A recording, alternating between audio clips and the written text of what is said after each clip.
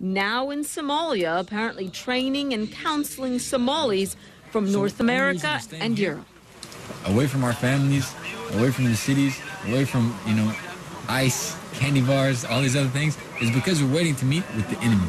We're seeing uh, perhaps their most sophisticated attempt so far to really reach uh, uh, an audience of potential recruits in America. And it's one of the things that made that video very significant.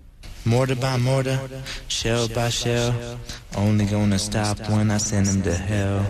And behind the hip hop vibe and modern graphics, the U.S. government says Somalia is an emerging terror hotspot which can pose a threat beyond its borders. Most of the time, what we're seeing in their videos directly parallels what the groups are doing operationally, what they're targeting, where they're recruiting. And Somalis from North America and Europe are finally beginning to come to terms with the problem of recruitment. Sheikh Ahmed Matan says he knows of hundreds of young Somali men who have returned to Somalia for terrorist training.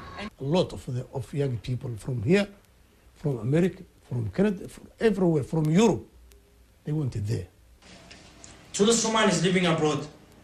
One of them was a business student from London who suddenly left for Somalia and only resurfaced about 18 months ago on this martyrdom video just before blowing himself up in southern Somalia, killing at least 20 people. Sheikh Matan is one of a few speaking out, outraged that Somali terrorists are preying on his community and convinced these young men with Western passports could be a threat to their adopted homes. An act of martyrdom, suicide bombing. It can be. They can train anytime and send them here, anytime.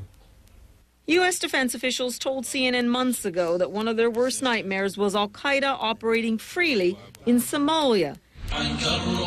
Now that nightmare continues. Somalis in North America and Europe admitting Al Qaeda's reach is spreading to their communities. Paula Newton, CNN, London.